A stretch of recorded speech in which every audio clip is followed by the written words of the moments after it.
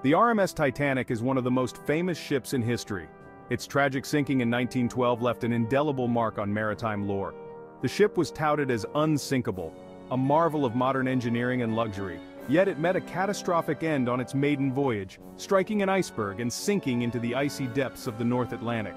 This disaster claimed over 1,500 lives, cementing the Titanic's place in history. The discovery of the Titanic's wreck in 1985 by Robert Ballard reignited global interest. Using advanced technology, Ballard and his team located the wreckage about 370 miles south-southeast of Newfoundland.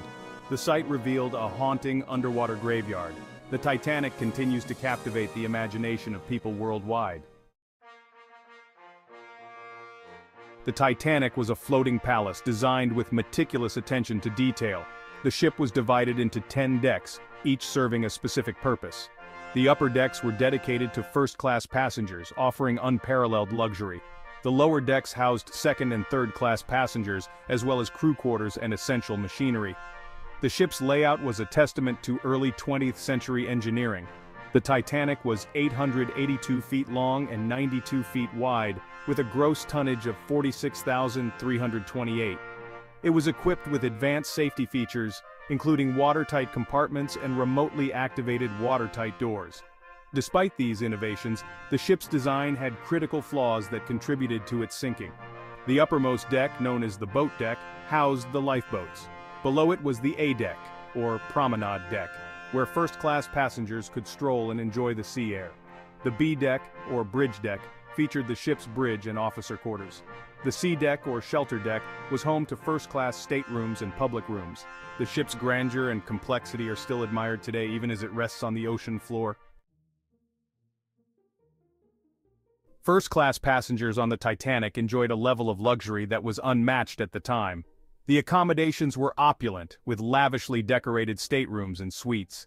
The first-class cabins featured fine wood paneling, plush furnishings, and private bathrooms. Some suites even had their own private promenades. The first-class dining saloon was a grand space, capable of seating over 500 passengers. The room was adorned with ornate chandeliers, elaborate woodwork, and fine china. The menu offered a wide array of gourmet dishes prepared by top chefs. Passengers could enjoy multiple courses including delicacies such as oysters, filet mignon, and pâté de foie gras. The ship featured a swimming pool, a Turkish bath, a squash court, and a gymnasium. There were also several lounges and reading rooms where passengers could relax and socialize. The Titanic also had a band that played music throughout the voyage, providing a soundtrack to the luxury experience. The opulence of the first-class accommodation stands in stark contrast to the tragic fate that awaited the ship and its passengers. Second-class accommodations on the Titanic were a step below first class, but they still offered a high level of comfort. The second-class cabins were spacious and well-appointed, featuring comfortable beds, wash basins, and electric lighting. Passengers in second class enjoyed a level of luxury that was comparable to first-class accommodations on many other ships of the time. The second-class dining saloon was a large, elegantly decorated room. It provided a more modest, yet still refined dining experience. The menu in second class was simpler than that in first class, but it still offered a variety of well-prepared dishes. Passengers could enjoy meals such as roast beef, chicken, and fresh vegetables. The second-class library was a quiet, comfortable space where passengers could read and relax. The second-class smoking room was a popular spot for socializing. The second-class promenade deck provided a space for passengers to enjoy the fresh sea air and scenic views. Third-class accommodations on the Titanic were more modest than those in first and second class. However, they were still a significant improvement over the conditions on many other ships of the time. Third-class cabins were simple but clean, with bunk beds and shared washrooms. Passengers in third class included many immigrants traveling to the United States in search of a better life. The third-class dining room was a large communal space where passengers could enjoy hearty, simple meals. The menu included dishes such as porridge, stew, and bread. For many third-class passengers, the meals on the Titanic were better than what they were accustomed to at home. The third-class general room was a large multi-purpose space where passengers could socialize, play games, and enjoy music. Life in third class was a stark contrast to the luxury experienced by first-class passengers. Many third-class passengers formed close bonds during the voyage, sharing stories and dreams of their new lives in America. The grand staircase on the Titanic was one of the ship's most iconic features. It was a magnificent structure spanning seven decks and connecting the upper levels of the ship. The staircase was designed to impress, with its elaborate woodwork, wrought iron railings, and a stunning glass dome that allowed natural light to flood in. The grand staircase was more than just a functional element, it was a symbol of the opulence and grandeur of the Titanic. It served as a central gathering point for first-class passengers, a place where they could see and be seen. The staircase was often the setting for social events, with passengers descending in their finest attire. The design of the grand staircase reflected the Edwardian style of the time. The wood paneling was made of rich oak, and the railings featured intricate ironwork. The grand staircase also played a significant role in the ship's final moments. The staircase, once a symbol of luxury and elegance, became a poignant reminder of the ship's tragic fate. The engine room of the Titanic was the heart of the ship. It housed the massive engines and boilers that powered the vessel. The Titanic had two reciprocating steam engines and a low-pressure turbine engine. The engine room was a marvel of early 20th century engineering. Located in the lower levels, it spanned several decks. The reciprocating engines weighed over 1,000 tons, powered by steam from 29 coal-burning boilers. Firemen worked in grueling conditions to keep the engines running. The engine room was a hive of activity, with engineers and firemen working around the clock. The engine room played a crucial role in the Titanic's final moments. The artifacts recovered from the Titanic's wreckage are time capsules of history.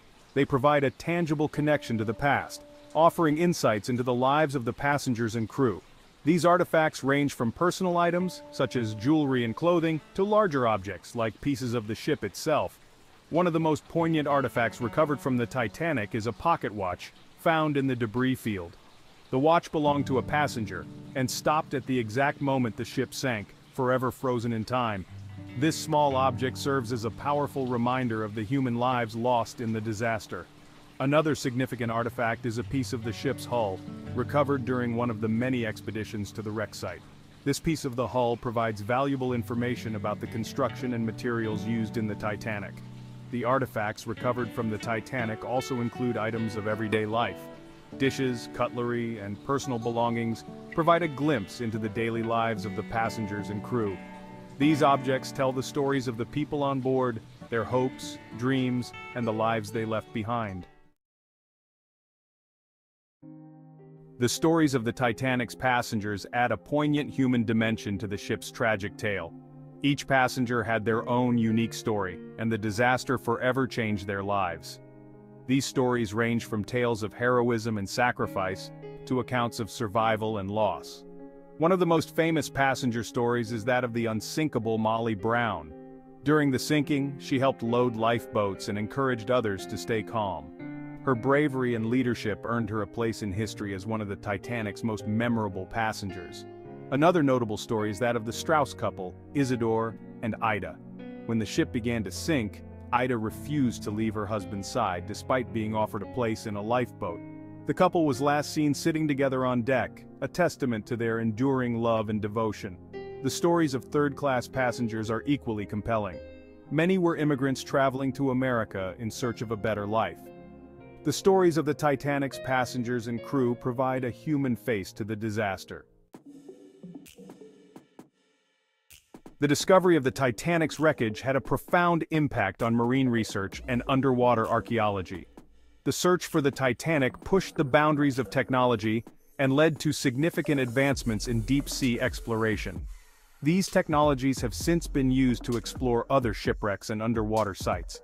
One of the key technologies used in the discovery of the Titanic was the Remotely Operated Vehicle, ROV. The ROV allowed researchers to explore the wreck site without the need for manned submersibles.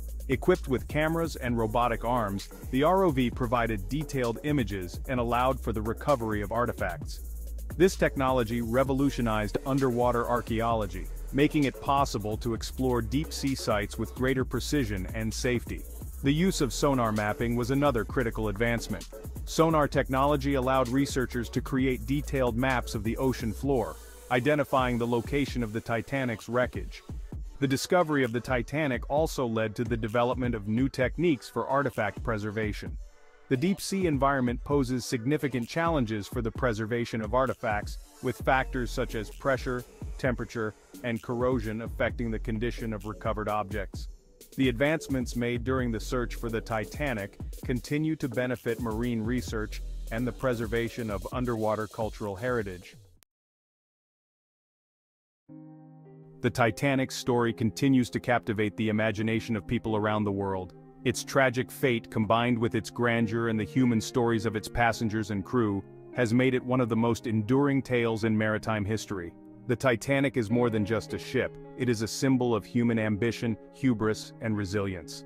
The legacy of the Titanic endures, reminding us of the fragility of life and the enduring quest for discovery.